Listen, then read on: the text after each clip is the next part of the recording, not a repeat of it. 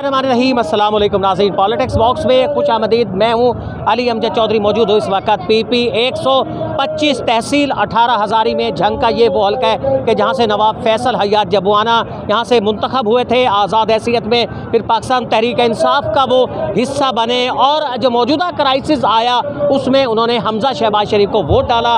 इमरान खान साहब ने रेफरेंस भेजा डी सीट हो गए और अब यहाँ इंतखब होने जा रहा है। सूरत हाल अब यह है कि नवाब फैसल हयात जबवाना इस वक्त पाकिस्तान मुस्लिम लीग नून के टिकट पर इस वक्त इंतखब लड़ रहे हैं। मरियम नवाज़ शरीफ साहिबा ने भी उनके लिए जलसा किया था। आज मियाँ आज़म चेला पाकिस्तान तहरीक इंसाफ के उम्मीदवार उनका जलसा है। इमरान खान साहब यहाँ आ रहे हैं। सूरत हाल ये है कि जो इंतज़ाम यहाँ किया गया था, एक बड़ा पिंडाल यहाँ पे लगाया गया था लेकिन वो तमाम पिंडाल इस वक्त खचा खच भर चुका है। ये मनाजिर बाहर के हैं ये मनाजिर उस जलसा गाह से बाहर के ये वो लोग हैं कि जो आगे जाना चाहते हैं लेकिन वहाँ आगे नहीं जा नहीं सकते क्योंकि वहाँ जगह ही नहीं है।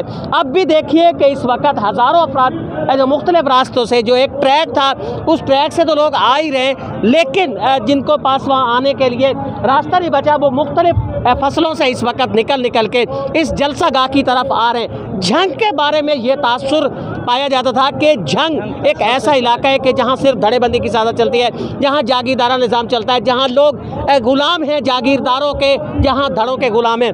लेकिन आज हैरत अंगेज़ तब्दीली देखने के लिए मिली है। मेरे लिए भी एक बड़ी अजीब सी बात थी कि जब मैंने लोगों से बात की तो उनका ये कहना था कि दरअसल अब वो सिर्फ़ पार्टी पॉलिटिक्स और नज़रियाती सियासत के कायल हो चुके हैं। धड़ेबंदी जंग से इस वक्त दम तोड़ रही है और ये स्पेकुलेट कर रहा हूँ और ये कह रहा हूँ कि आने वाले आम इंतबात में जंग से धड़ेबंदी तकरीबन इस वक्त ख़त्म हो जाएगी। नज़रियाती सियासत इस वक्त आ रही है। लोग मेरे साथ मौजूद हैं। वालेकुम सलाम जी। क्या मनाजर है कि जो जलसा गाह इस वक्त बनाया गया था बहुत बड़ा पिंडाल था उसका वो तो मुकम्मल भर चुका है सड़कें भर चुकी हैं लोग जाएँगे किधर अब जो भाई जो इंतज़ाम किया गया था ना वो तो मुकम्मल हो चुका है वहाँ पे तो आवाम नहीं आ सकती।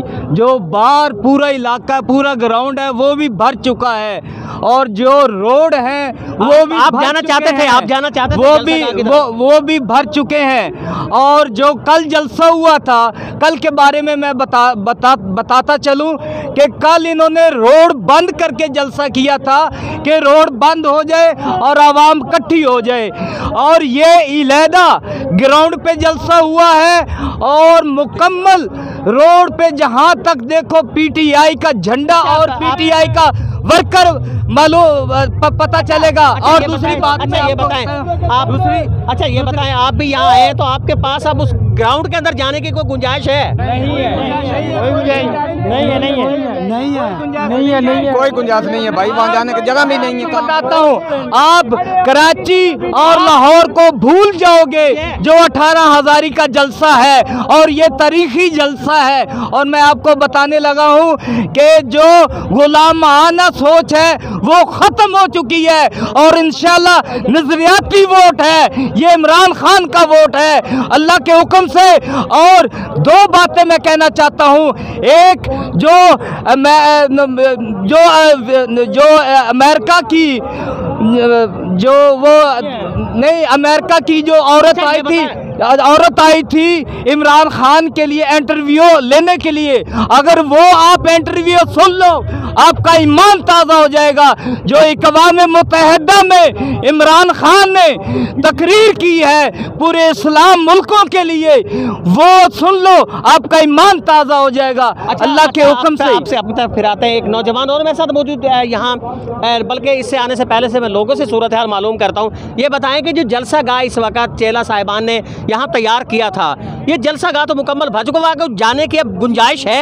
नहीं है नहीं है भाई बिल्कुल फुल जगह हो आपने कोशिश की आगे जाने की? कोई जगह नहीं। लेकिन नहीं जा सकते नहीं जा सकते हाँ, हैं। हाँ जी। बहुत बड़ी तादाद है। बहुत बड़ी तादाद है इतनी बड़ी तादाद है कि लोग वहाँ इस वक्त नहीं जा सकते और लोग इस वक्त मियाँ आज़म चेला चेला साहिबान पे शिकवा कर रहे हैं कि उन्होंने अब भी ये जलसा गा हालाँकि बहुत बड़ा जलसा गा उन्होंने बनाया था तो ये शायद ये शिकवा कर रहे हैं कि अभी उन्होंने छोटा बनाया था। ये जलसा रेगिस्तान में होना चाहिए था जहाँ पे फ़सल नहीं है। वहाँ पे देखते ये कराची और लाहौर को क्रॉस कर जाता ये जलसा।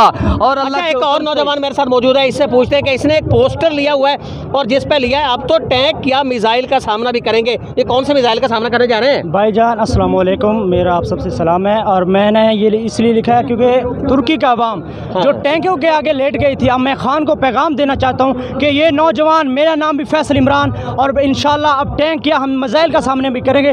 खान साहब हम आपके साथ हैं। अब आपने घबराना नहीं हम आपके साथ ये खान से आपको प्यार क्यों हो गया? कि कितना प्यार समझ नहीं आ रही कैसे हो गया है? खान खान साहब से प्यार करने के लिए इतनी चीज़ ही काफ़ी है। वो शुरू तकरीर शुरू करते ही ये बोलते हैं या का नाबदू व या का नस्ताइन वो बोलते हैं ए अल्लाह हम तुझसे ही मदद मांगते हैं और सिर्फ़ तेरी ही इबादत करते हैं। यही चीज़ मुसलमान के लिए काफ़ी है कि सब सब डर ख़त्म हो जाते हैं। जब बंदा कलमा तैयब पढ़ लेता है तो डर सब खत्म हो जाता है इसलिए हम उसकी सपोर्ट करते हैं। आपके दिल के आपके दिल के अंदर ये बात कैसे बैठ गई कि सिर्फ़ खान सच्चा है बाकी सारे झूठे हैं? देखिए ये शख्सियत मुतासर करती है उनकी ज़ुबान उनके काम बोलते हैं कि वो कैसे हैं और वो क्या करना चाहते हैं। सच्चा आदमी। है और प्योर आदमी है। इस वक्त गुफ्तगु सुनी आपने इन लोगों की भी ये जाना चाहते हैं जलसा गाह के अंदर आगे लेकिन आवाम आगे इतनी है लोग इतने हैं कि ये जलसा गाह तक पहुँच नहीं सकते। ये कहते हैं कि चेला साहिबान ने बड़ा इंतज़ाम किया था लेकिन ये इंतज़ाम भी छोटा पड़ गया है और लोगों को वहाँ जाने की जो उनकी हसरत है खान को देखने की उनकी जो हसरत है वो भी पूरी होती हुई दिखाई नहीं देती। एक छोटा अली अमजद चौधरी की इजाज़त दीजिए अल्लाह निगहबान